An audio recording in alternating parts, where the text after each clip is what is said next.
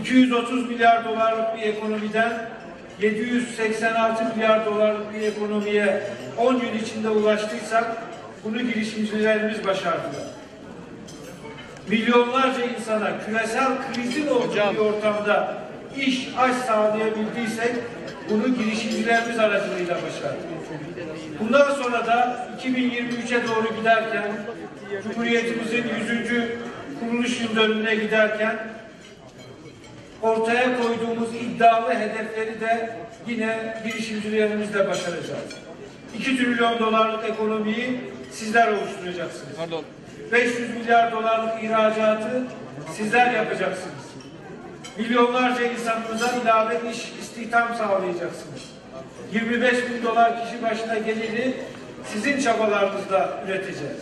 Girişimci dostu bir devlet yoksa, girişimci dostu bir ortam yoksa, girişimciler de enerjilerini ortaya koyamaz, açığa dökemez ve geliştiremezler.